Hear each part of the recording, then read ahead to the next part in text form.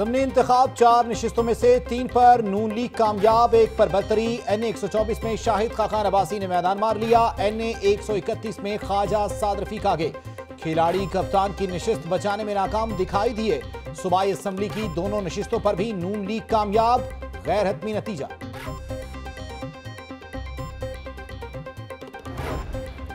اپنے حلقے میں ناکام شاہد خاقان نے لاہور میں مار لیا میدان۔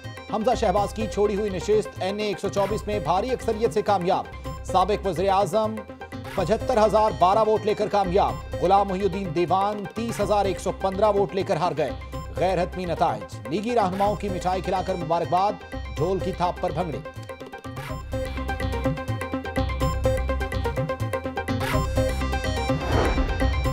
چور دروازے سے آنے والے عمران خان عوام کا اعتماد کھو چکے۔ ووٹرز نے ثابت کر دیا کہ وہ آج بھی نواز شریف کے ساتھ ہیں۔ حکومت ہمارا راستہ نہیں روک سکتی، حلقے کے عوام کی محبت کا قرضدار ہوں۔ کامیاب امیدوار شاہد خاقان عباسی کا کارکنوں سے خطاب۔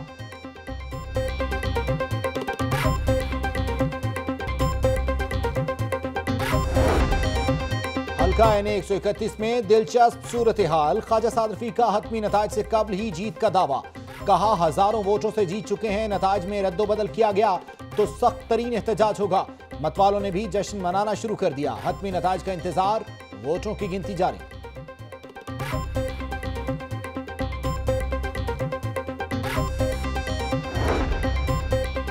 صوبائی اسمبلی کی دونوں نشستوں پر بھی شیر کی للکار۔ پی پی ایک سو پینسٹھ میں سیف الملوک کھوکھر نے پی ٹی آئی کے منشا سندھو کو شکست دے دی۔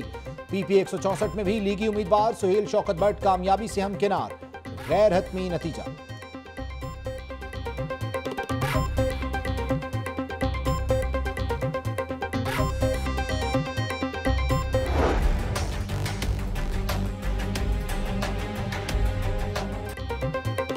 نواز شریف ووٹ ڈالنے آئے مگر شناختی کارڈ نہ لائے۔ سابق وزیر اعظم کی ریلوے روڈ پولنگ سٹیشن پر آمد کارکنوں کی جانب سے والہانہ استقبال۔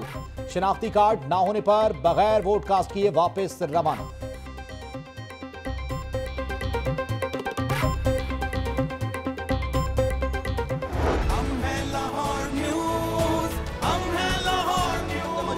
نیشنل اسمبلی کے حلقہ این اے ایک سو چوبیس کے پولنگ سٹیشن۔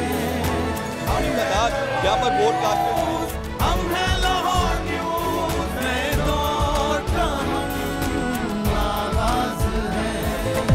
اور لاہور نیوز کی سب سے پہلے مستند نتائج دینے کی روایت برقرار۔ پولنگ سے نتائج تک بہترین رپورٹنگ اور تجزیوں سے رکھا لمحہ بلمحہ باخبر۔ شہری بڑی بڑی سکرینز پر لاہور نیوز لگا کر نتائج دیکھتے رہے۔